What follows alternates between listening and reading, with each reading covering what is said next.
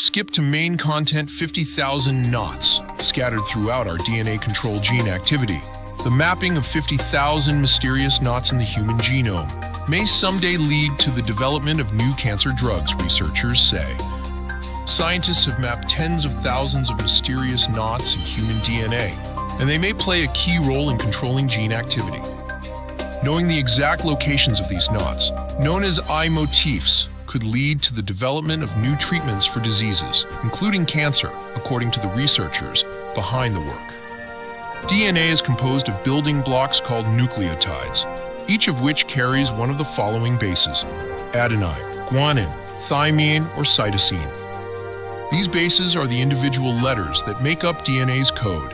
DNA has a ladder like structure, and normally, bases on one side of the ladder pair with a partner on the other side, linking up in the middle to form the ladder's rungs. Adenine pairs with thymine, while guanine pairs with cytosine. However, sometimes cytosines can pair with each other rather than with guanine. This causes a DNA molecule to twist in on itself, creating a four-stranded, protruding structure called an i-motif. Related, Rosalind Franklin knew DNA was a helix before Watson and Crick unpublished material reveals. Researchers first discovered i-motifs in human cells in 2018. At the time, they suspected these knots could be important regulators of the genome, helping to control which genes are on or off.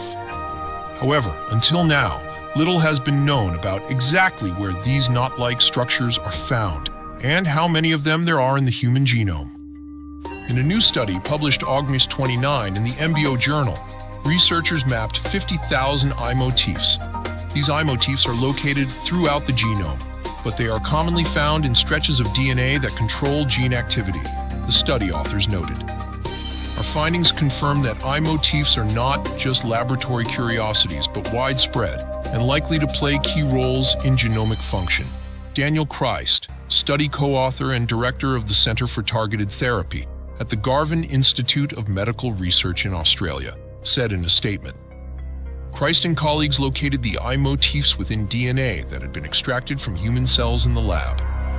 They pinpointed these knots using antibodies designed to specifically recognize and form complexes with the i-motifs. The team then purified these complexes of antibodies and knots in order to sequence the DNA within them. We discovered that i-motifs are associated with genes that are highly active during specific times in the cell cycle, Christian David Pena Martinez, lead study author and a research assistant at Garvan, said in the statement. The cell cycle is the process by which cells replicate in the body. This suggests they, i-motifs, play a dynamic role in regulating gene activity, Pena Martinez added. The team also found i-motifs within the promoter regions of various genes associated with cancer, Promoters are a type of genetic material that switches a given gene on and off, akin to a light switch. In cancerous cells, these genes can become dysregulated, driving the increased cell division and growth characteristic of tumors. This new discovery hints that i-motifs could one day become a target for cancer-related drugs, the team proposed. They found i-motifs in the MYC gene family, whose activity is known to be dysregulated in around 70% of human cancers. This presents an exciting opportunity to target disease-linked genes through the i-motif structure, Pena Martinez said. Of course, more research is needed to move this idea from theory to application in human cancer patients.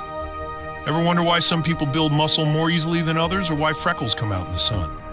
Send us your questions about how the human body works to communitylivescience.com with the subject line Health Desk Q, and you may see your question answered on the website.